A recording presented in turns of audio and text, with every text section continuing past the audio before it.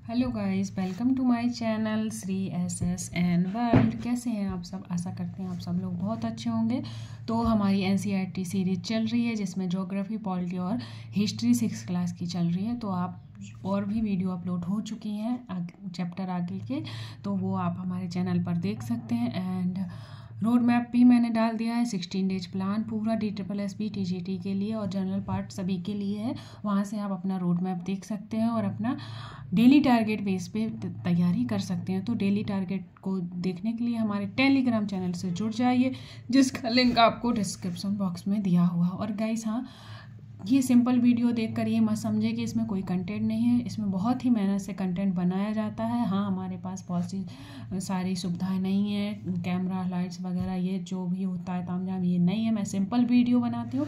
पर ये simple video में मैं पूरा, पूरी कोशिश करती हूँ कि हमारे जो वर्किंग पर्सन है, जो हमारे हाउस वूमेन है, उनको उनको पढ़ाई में बहुत ज़्यादा लाभ मिले, वो अपना पढ़ाई कंटिन्यू कर सकें, ठीक है?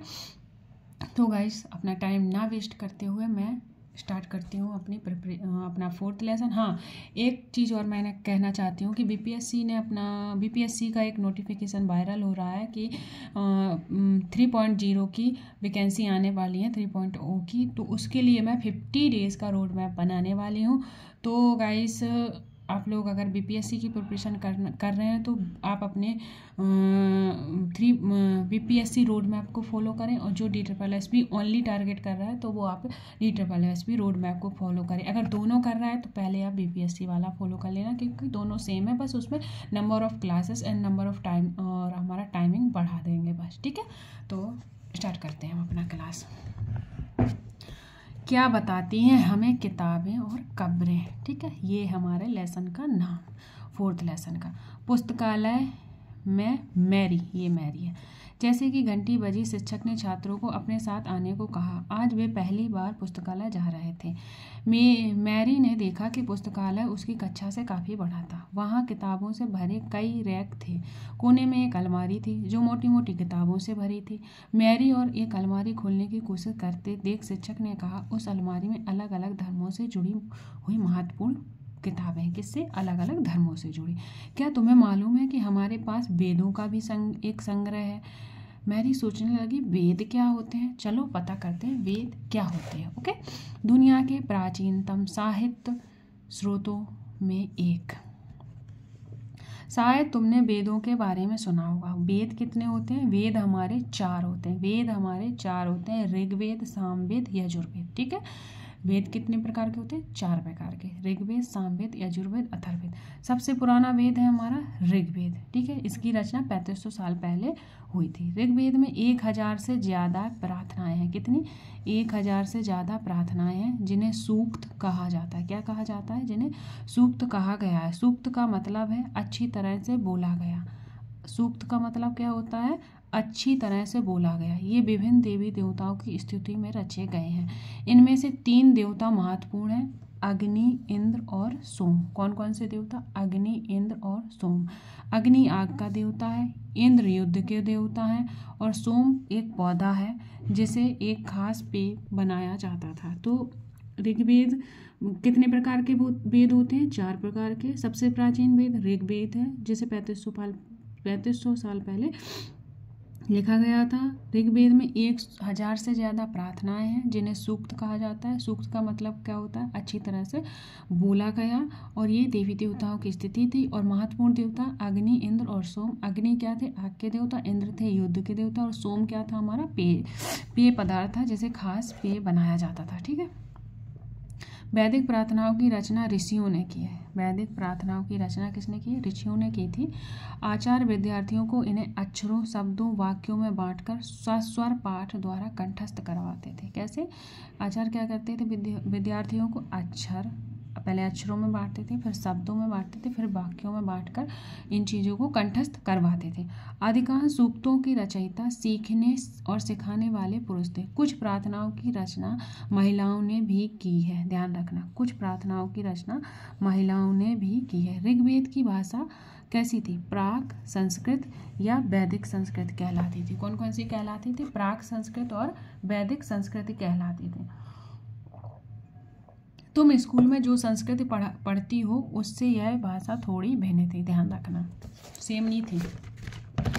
भिन्न थी।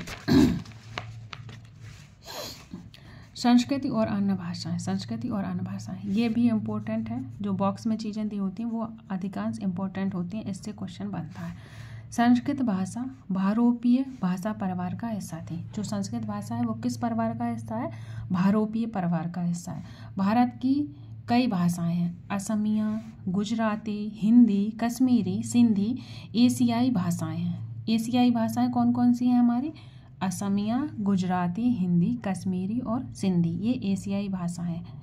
जैसे फारसी तथा यूरोप की बहुत सी भाषाएँ हैं। फारसी और यूरोप की भी बहुत सी भाषाएँ हैं। जैसे अंग्रेज़ी, फ्रांसीसी, जर्मन, यूनानी, इतावली, स्पेनिश। ये कौन सी भाषा हैं? फारसी और यूरोपी।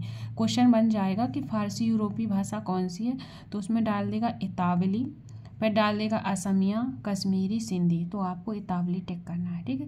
एशियाई भाषाएँ ये हैं और फारसी, यूरोपी भाषाएँ ये हैं, ठीक है? नोट्स बना लेना अच्छे से, एक डाल के, ठीक है? उन्हें एक भाषा परिवार इसलिए कहा जाता है क्योंकि आराम में उनमें कई शब्द एक जैसे थे। उदाहरण के लिए मात्र, संस्कृत का शब्द है, ठीक है? माँ हिंदी का शब्द है और मदर अंग्रेज़ी का शब्द है, ठीक है? तो ये इस इस एक ही पर, भाषा परिवार की कही जाती थी। ठीक है? क्यों कही जाती थी? वो आपने देख लिया। है उपमहाद्वीपों में दूसरे परिवार भी, परिवार की भी भाषाएँ बोली जाती हैं। उदाहरण के लिए पूर्वोत्तर भाषाएँ पूर्वोत्तर प्रदेशों में तिब्बत बर्मा परिवार की भाषाएँ बोली जाती हैं। जो पूर्वोत्तर प्रदेश होते हैं क्वेश्चन आएगा कि पूर्वोत्तर प्रदेश में कैसी भा, कैसी भाषाएँ बोली जाती हैं? तो तिब किस परिवार की भाषाएँ बोली जाती हैं? तो वो तिब्बत बर्मा परिवार होगा। उसमें कौन सो कौन सी भाषा शामिल है? तमिल तेलुगु कन्नड़ मलयालम ठीक है? ये हमारी तिब्बत परिवार की तिब्बत बर्मा परिवार की भाषाएँ हैं। और द्रवण भाषा परिवार की भाषाएँ कौन कौन सी होती हैं? सॉरी पूर्वोत्तर प्रदेश में तिब्बत बर्मा परिवार की भाषाएँ बोली जाती हैं, ठीक है? पूर्वोत्तर में तिब्बत पर, बर्मा परिवार की भाषा बोली जाती है। तमिल, तेलुगु, कन्नड़ और मलयालम किसकी? द्रवण भाषा परिवार की भाषाएँ हैं, ठीक है? ये द्रवण की हैं, ठीक है? और पूर्वोत्तर में ओनली ये बताया गया, तिब्बत बर्मा परिवार की भाषा बोली जाती है। जबकि झारखंड और मध्य प्रदेश के कई हिस्सों में बोली जाने वाली भाषाएँ कौन सी ऑस्ट्रो एशियाटिक परिवार से जुड़ी हैं। तो सबसे पहले संस्कृत भारोपी परिवार का हिस्सा है। किसका हिस्सा है? भारोपी परिवार का हिस्सा है। और ये वाली भाषाएँ एशियाई भाषाएँ हैं, ये, ठीक है? और फारसी और यूरोप की बहुत सारी भाषाएँ ये हैं। एंड पूर्वोत्तर प्रदेश में तिब्बत वर्मा परिवार की भाषा बोली जाती है। तमिल, तेलुगु, कन्नड़, मलयालम, क्या है? द्रविड़ भाषा परिवार का हिस्सा है। झारखंड और मध्य भारत के कई हिस्सों में कौन सी भाषा बोली जाती है? ऑस्ट्रो एशियाटिक भाषा बोली जाती है। तो आप इसका शॉर्ट नोट बना के रख लेंगे, ठीक है? या फिर वीडियो कई बार सुन लेंगे तो याद हो जाएगा।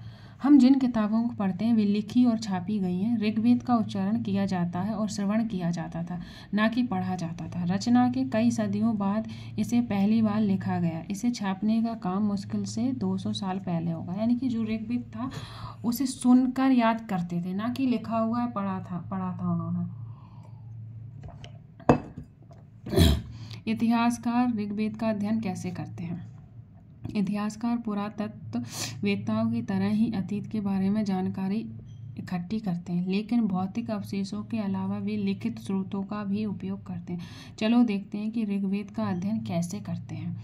ऋग्वेद के कुछ सूक्त वार्तालाप के रूप में है। विश्वामित्र नामक ऋषि और देवियों के रूप में पूजित दो नदियों, व्यास और सतलज के बीच संवाद का एक ऐसे ही सूक्त का अंश है। जो विश्वामित्र जी थे, विश्वामित्र नामक ऋषि ने और देवियों के रूप में, यानी कि देवियों के रूप में पूजित कौन कौन सी नदी? व्यास और सतलज के बारे में एक संवाद का सूक्त दिया गया है, वो हम देखेंगे। ऋग्वेद की पांडुलिपियों का एक पन्ना, भुर्ज वृक्ष की छाल पर लिखी यह पांडुलिपि कश्मीर में पाई गई है। जो ऋग्वेद की पांडुलिपि है, वो कहाँ पर पाई गई है? कश्मीर में किस पर लिखी थी? भुर्ज वृक्ष की छाल पर, जो पहले आप पढ़ चुके हैं। लगभग डेढ़ सौ साल पहले ऋग्वेद को सबसे पहली बार छापने के लिए इसका प्रयोग किया गया होगा। कब? डेढ़ सौ साल पहले। इस पांडुलिपि को देखकर अंग्रेज़ी अनुवाद तैयार हुआ। यह पांडुलिपि पुणे महाराष्ट्र के एक पुस्तकालय में सुरक्षित है। ठीक है। विश्वामित्र और नदियों। विश्वामित्र, हे नदियों, अपने बछड़ों को चाटती हुई दो दम, दमकती गायों की तरह। ध्यान रखना, ये सीधा उठाता है लाइन और क्वेश्चन देगा। ठीक है। तो विश्वामित्र ने नदियों से क्या कहा? अपने बछड़ों को चाटती हुई दो दमकती गायों की तरह। दो फुर्तीले घोड़ों की चाल से। पहाड़ों से नीचे आओ। किससे तुलना की है? घोड़ों की चाल से। इंद्र द्वारा दी हुई शक्ति से, स्फूर्ति से। तुम रथों की गति से सागर की ओर बह रही हो। तुम जल से परिपूर्ण हो और एक दूसरे से मिल जाना चाहती हो। तो ये ये चीज़ें इंपॉर्टेंट है। दो दमकती गायों से तुलना की है। दो फुर्तीले घोड़ों की चाल से तुलना की है। और इंद्र द्वारा दी गई शक्ति से, स्फूर्ति से तुम रथों की गति से सागर की ओर बह रही हो। नदियाँ, जल से परिपूर्ण हम देवताओं के बनाए गए रास्ते पर चलती हैं। एक बार निकलने पर हमें रोका नहीं जा सकता। हे ऋषि, तुम हमसे प्रार्थना क्यों कर रहे हो? विश्वमित हे बहनों, मुझे गायक की प्रार्थना सुनो। मैं रथों, गाड़ियों सहित बहुत दूर से आया हूँ। कृपा करके अपने जल को हमारे रथों और गाड़ियों की धुरियों के ऊपर ना उठाओ, ताकि हम आसानी से ऊपर जा सकें। नदियाँ, हम तुम्हारी प्रार्थना सुनेंगे, जिससे तुम सुरक्षित उस पार जा सकोगे। इतिहासकार यह बताते हैं, प्रार्थना उस क्षेत्र में रची गई होगी जहाँ ये नदियाँ बहती हैं। वे यह भी सुझाते हैं कि जिस समाज में ऋषि रहते थे, वहाँ घोड़ों और गायों को महत्व दिया जाता होगा। इसलिए नदियों की तुलना उन्होंने किससे की है? घोड़ों और गायों से की है। ध्यान रखना, ठीक है? ऋग्वेद की प्रार्थनाओं में अन्य दूसरी नदियों का, खासकर सरस्वती, सिंधु और सहायक नदियों का ज़िक्र है। तो ऋग्वेद की प्रार्थनाओं में किसका है? सरस्वती, सिंधु और सिंधु की सहायक नदियों का। गंगा, यमुना का उल्लेख सिर्फ़ एक बार है। कितनी बार है? एक बार है।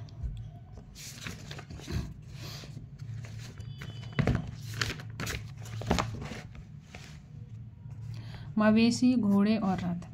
इनके बारे में पढ़े। ऋग्वेद में मवेशियों, बच्चों, खासकर पुत्रों और घोड़ों की प्राप्ति के लिए अनेक प्रार्थनाएँ हैं। ध्यान रखना, मवेशी, बच्चों और खासकर कौन थे? पुत्र।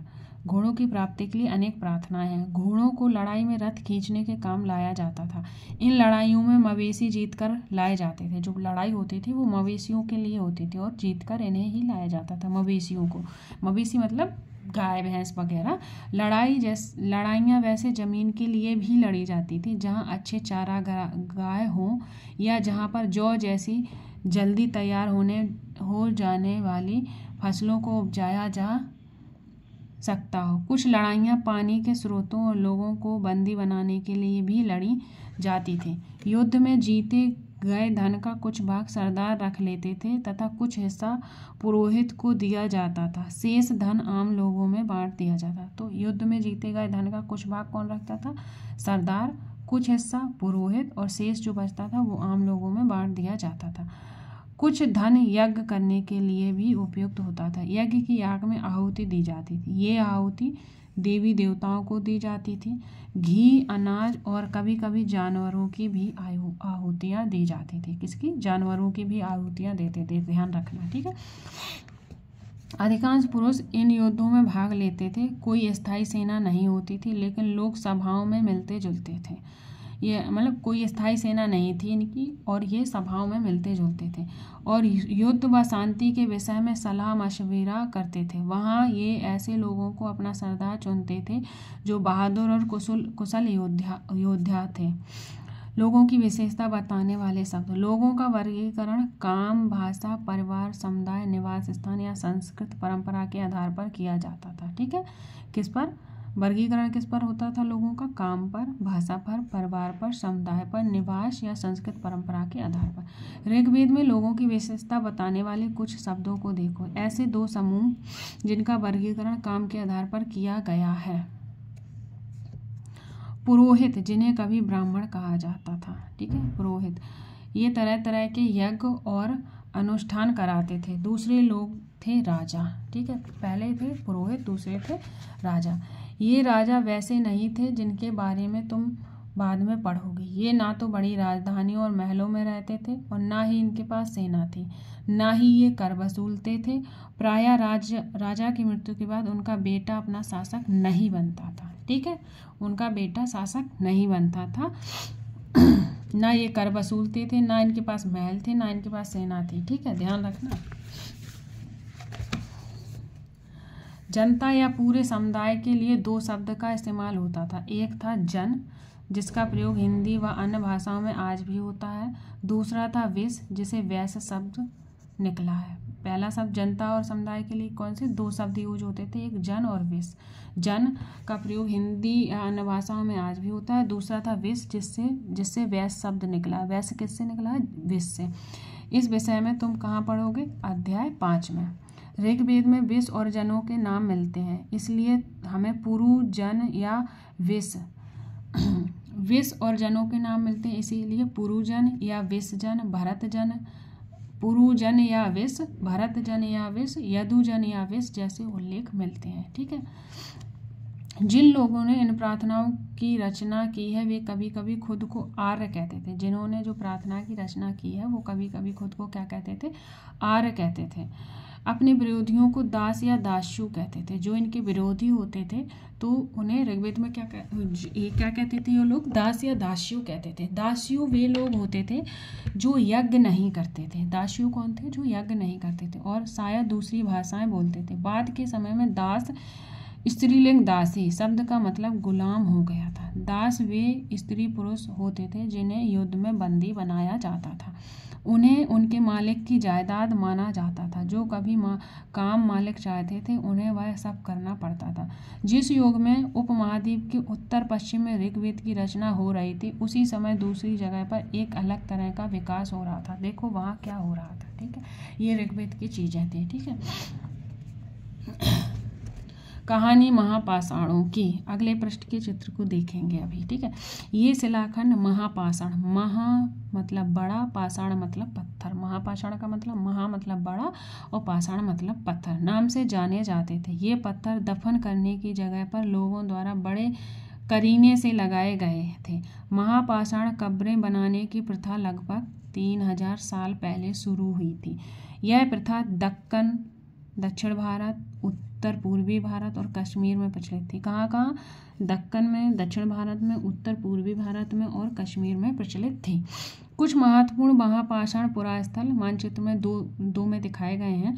कुछ महापाषाण ज़मीन के ऊपर ही दिख जाते हैं और कुछ महापाषाण ज़मीन के भीतर भी होते हैं।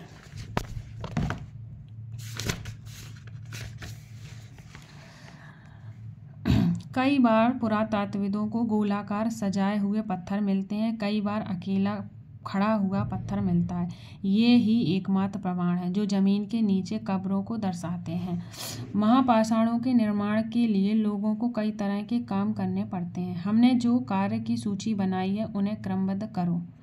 तो जो कार्य बताया उन्हें क्रम से, पहले क्या करते थे? गड्ढा खोदना, फिर शिला खंडों को ढोकर लाना, गड्ढा खोदना, ध्यान रखना, ये क्रम आपको पूछ सकता है क्वेश्चन में। तो पहले क्या था? गड्ढा खोदना, फिर शिला खंडों को ढोकर लाना, बड़े पत्थरों को तराशना और मरे हुए को दफनाना, ये देखो, ये बना है। ठीक है? इस, इन सब कब्रों में कुछ समानताएँ हैं। सामान्यतः मृतकों को खास किस्म के मिट्टी के बर्तन के साथ दफनाया जाता था। इम्पोर्टेंट पॉइंट है, महापाषाण में किस तरह से दफनाते थे? कुछ खास किस्म के मिट्टी के बर्तन के साथ, जिन्हें काले लाल मिट्टी के बर्तन कहते थे। इंग्लिश में ब्लैक एंड रेड वेयर। ठीक है? ध्यान रखना इंपॉर्टेंट पॉइंट है। मृतकों को खास मिट्टी के बर्तन के साथ दफनाया जाता था। वो बर्तन ब्लैक रेड रेड वेयर होते थे, काले, लाल मिट्टी के बर्तन होते थे। इनके साथ ही मिले होते, मिले हैं। लोहे के औजारों और हथियार, घोड़ों के कंकाल और सामान तथा पत्थर और सोने के गहने भी मिले हैं यहाँ की कब्रों में।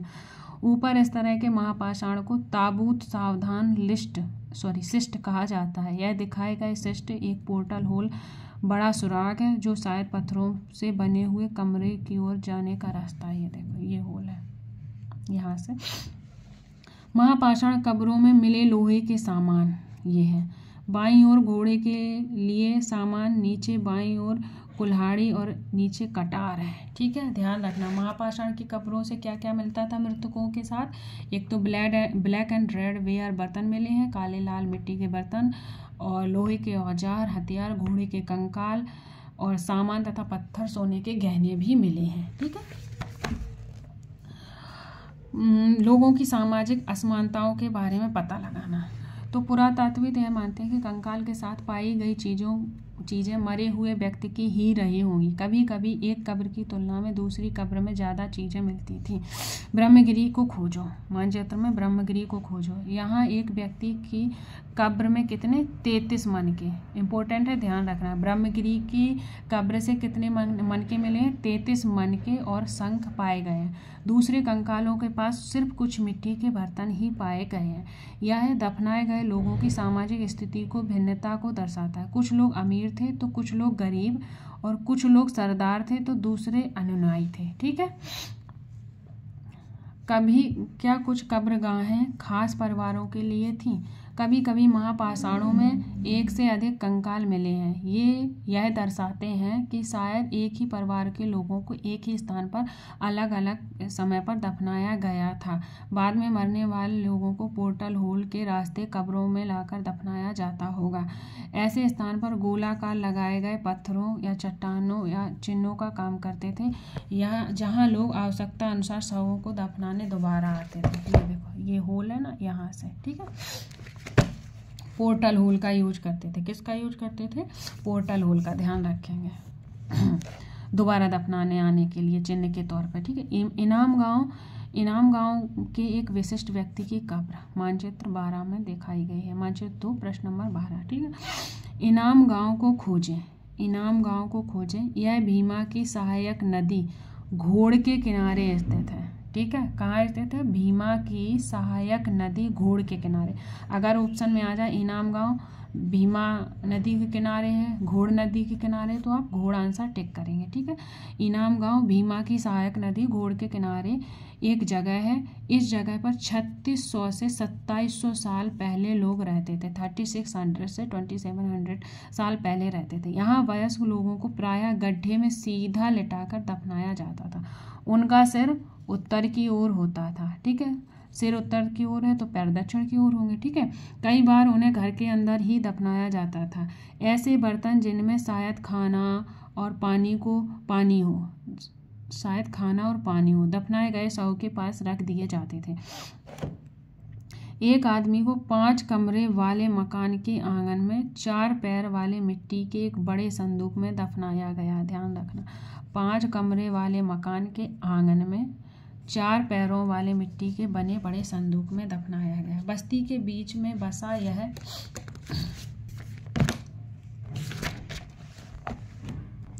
घर गाँव के सबसे बड़े घरों में से एक था। इस घर में एक अनाज का गोदाम भी था। सौ के पैर कैसे होते थे? मुड़े थे। ठीक है, ध्यान रखना। अभी क्या बताते हैं हमें कंकालों का के अध्ययन, जो हमने कंकालों के अध्ययन किए हैं, वो हमें क्या बताते हैं? छोटे आकार के आधार पर एक बच्चे के कंकाल को आसानी से पहचाना जा सकता है, लेकिन एक बच्चे को और बच्ची के कंकाल के बीच में कोई फ़र्क, बड़ा फ़र्क नहीं होता है। क्या हम यह पता लगा सकते हैं कि कंकाल किसी पुरुष या तथा स्त्री का है। कभी लोग कंकाल के साथ मिल, मिले सामानों के आधार पर इसका अंदाज़ा लगाते थे। उदाहरण के लिए यदि कंकाल के साथ गहने मिले तो कई बार उसे महिला कंकाल मान लिया जाता था। लेकिन ऐसी समझ के साथ समस्याएँ अक्सर पुरुष भी आभूषण पहनते थे। कंकाल का लिंग पहचानने का बेहतर तरीका उसकी हड्डियों की जाँच। चूँकि महिलाओं की, महिलाएँ बच्चों को जन्म देती हैं, इसलिए उनका कटी प्रदेश या कूला पुरुष से ज़्यादा बड़ा होता है। ठीक है? ये समझ कंकालों के आधुनिक अध्ययन पर आधारित है। आज से लगभग 2000 साल पहले, यानी कि 2000 साल पहले, चरक नाम के प्रसिद्ध वैद्य थे। ध्यान रखना, कौन थे? चरक नाम के प्रसिद्ध वैद्य थे 2000 साल पहले। उन्होंने चिकित्सा शास्त्र पर चरक संहिता नामक किताब लिखी थी। तो चरक संहिता नामक बुक किसकी लिखी थी? किसने लिखी थी? चरक ने। किस पर? चिकित्सा शास्त्र पर। वे कहते थे, मनुष्य के शरीर में 360 हड्डियाँ हैं। यह आधुनिक शरीर शरीर रचना, विज्ञान 206 हड्डियों से भी काफ़ी ज़्यादा है। संभवतः चरक ने अपनी गिनती में दांत, हड्डियों के जोड़े और कार्टिलेज को भी जोड़ रखा है। यानी कि अगर पूछता है चरक के अनुसार शरीर मनुष्य के शरीर में हड्डियाँ तो 360 वैसे कितनी होती हैं? 206 तो 360 में उन्होंने दांत, हड्डियों के जोड़े और कार्टिलेज को भी जोड़ रखा होगा, ठीक है? अब पढ़ते हैं इनाम गाँव के लोगों के काम धंधे इनाम गाँव में पुरातत्वविदों को गेहूँ, जौ, चावल, दाल, बाजरा, मटर और तिल के बीज मिले हैं। इनाम गाँव में क्या क्या मिला? है गेहूँ, जौ, चावल, दाल, बाजरा, मटर और तिल के बीज मिले। कई जानवरों की हड्डियाँ भी मिली हैं। कई हड्डियों पर काटने के निशान से यह अंदाज़ा होता है कि लोग इन्हें खाते होंगे। गाय बैल सॉरी, गाय, बैल, भैंस, बकरी, भेड़, कुत्ता, घोड़ा, गधा, सुअर, सांभर, चितकबरा हिरण, कृष्ण मृग, खरहा, नेवला, चिड़िया, घड़ियाल, कछुआ, केकड़ा और मछली की हड्डियाँ भी पाई गई हैं। देखो कितने सारे जानवरों के नाम हैं। अगर कोई मतलब पढ़ाता है तो वो इतने सारे जानवरों के नाम नहीं लिखाएगा मेन मेन लिखाएगा। मेन लिखा देगा और वहाँ आ गया चितकबरा हिरण तो हम कंफ्यूज हो, जाएँगे। वहाँ हम लिखते हैं अरे ये तो पढ़ा ही नहीं था यहाँ खराहा आ गया। तो भी हम उसे इग्नोर कर देंगे तो ये बुक पढ़ने का फ़ायदा है। ठीक है ऐसे साक्ष्य मिले हैं कि बेर आंवला जामुन खजूर और कई तरह की रस भरी भरियाँ एकत्रित की जाती थी। क्या बेर, आंवला, जामुन, खजूर और कई तरह की रस भरियाँ एकत्रित की जाती थी? तो गाइस सिक्स क्लास की हिस्ट्री बहुत ही इम्पोर्टेंट है। ध्यान से पढ़ें, इससे बहुत ज़्यादा क्वेश्चन बनते हैं। ठीक है, ये था हमारा फोर्थ लेसन तो इस प्रमाण के आधार पर इनाम, ईमान सॉरी इनाम गाँव के लोगों के काम धंधों की एक सूची बनाओ। सबसे पहले इम्पोर्टेंट शब्द, वेद, प्रार्थना, भाषा, रथ, यज्ञ, राजा, दास, महापाषाण, कब्र, कंका, लोहा। और हम पढ़ेंगे अब इम्पोर्टेंट अपनी डेट्स कौन कौन सी थी?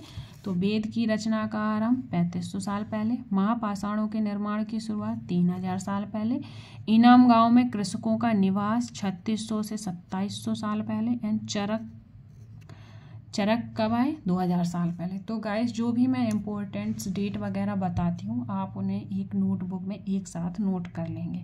ठीक है? जिससे आपको रिवीजन करने में आसानी होगी और जल्दी से रिवीजन हो जाएँगे।